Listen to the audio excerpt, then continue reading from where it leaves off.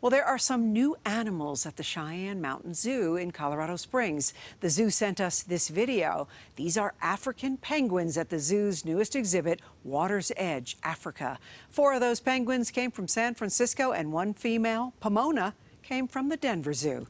For the next few weeks, the group will get used to one another. More construction for their habitat is ongoing.